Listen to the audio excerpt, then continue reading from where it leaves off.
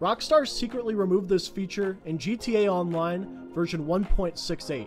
If you like to grind for money, and you know how the online businesses accrue over time. Now, something like the nightclub that takes anywhere from 8 to 16 plus hours, depending where you like to sell. A lot of players don't have that kind of time to spend playing GTA all day. There used to be a way to go AFK without being kicked in certain businesses like the bunker, the nightclub, and the Freakshop. The security cameras in these buildings allow you to move around, which would let you go AFK without being kicked from the game.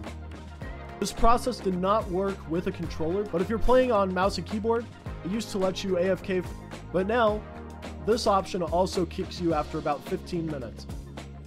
So how do you feel that Rockstar secretly removed this?